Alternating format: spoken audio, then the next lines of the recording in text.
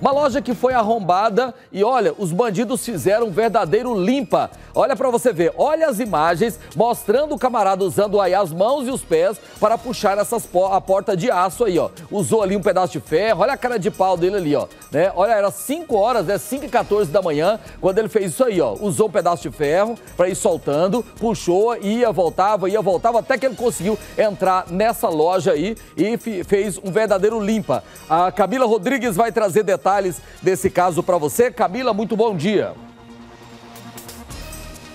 Oi, Loares, bom dia para você, para todo mundo que está acompanhando a gente. Essa loja é uma loja de estética automotiva, fica aqui na Quarta Radial, no Jardim das Esmeraldas. A gente está bem pertinho aqui do terminal Isidória, também do setor Pedro Ludovic, é uma região bastante movimentada, inclusive, só que às 5h14 estava tudo parado e esse bandido aproveitou justamente isso para arrombar essa loja. A gente tem imagens do circuito de segurança, tanto da parte externa quanto da parte interna da loja, que mostra como é que ele fez para conseguir entrar. Ele usou uma espécie né, de ferro para poder abrir essa porta. Inclusive o ferro está bem aqui, ó, vou pegar para vocês verem. A gente até achou que era, era uma outra, uma engenhoca, né? Na verdade, que ele utilizou. Isso aqui que ele utilizou para abrir essa porta de aço, Loares. Inclusive as marcas ainda estão por aqui, eles já consertaram, né? O pessoal aqui, o dono da loja, já consertou, mas é óbvio que ficaram os prejuízos. Mais de 5 mil reais de prejuízo. Vou chamar o Danilo aqui, que é proprietário. Danilo, vem aqui, por gentileza gentileza para a gente, porque é, a loja já existe há dois anos e foi a primeira vez que isso aconteceu com vocês, né? Boa tarde para você. Boa tarde, boa tarde a todos. Sim, foi a primeira vez que aconteceu.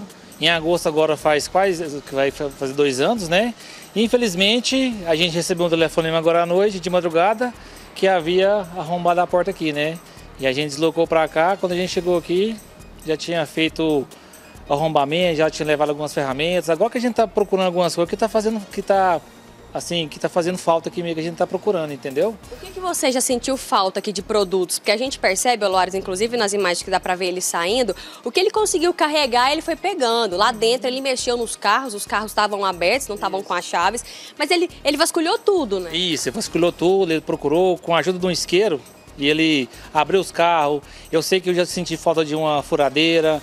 É, a gente faz aqui um serviço de vitrificação é um produto que a gente compra hoje que ele é caro, e também levou alguns, entendeu? Algumas partes também de boina, de ferramenta que a gente usa aqui durante o dia também, ele acabou levando.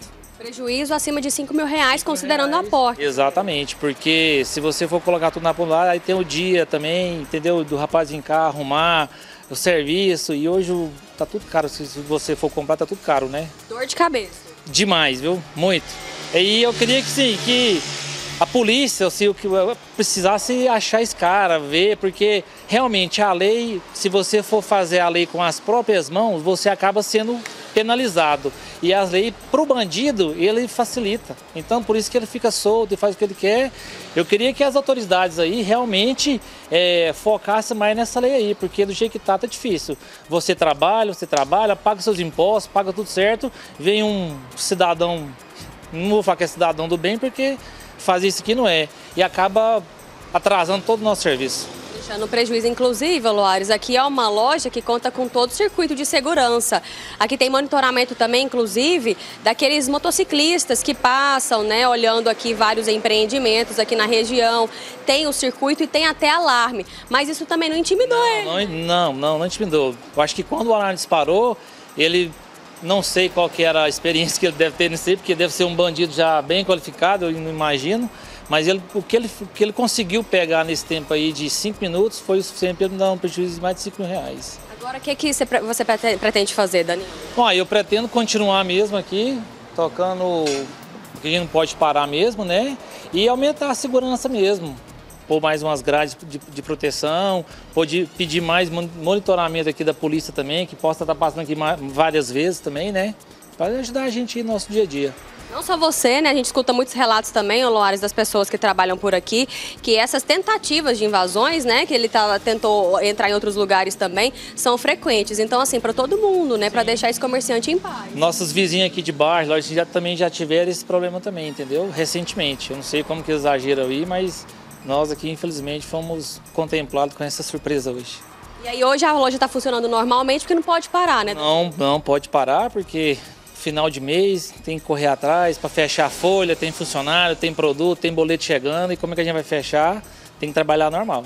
Muito obrigada viu, pela sua participação. A gente entrou em contato, Loares, com a Polícia Militar, que enviou uma nota para a gente, falando sobre o caso aqui. Disse que a demanda foi repassada ao comando do 6 Batalhão, que é a unidade responsável pelo policiamento aqui no setor. Eles ressaltaram que o policiamento é realizado, sim, todos os dias aqui nessa região, mas esclarece que as atividades preventivas e ostensivas serão intensificadas, que é realmente o que os comerciantes aqui da região esperam, né, Loares?